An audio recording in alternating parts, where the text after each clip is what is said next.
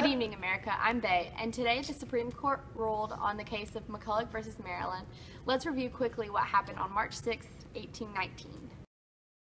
I refuse to pay a tax just because our bank wasn't chartered in the state.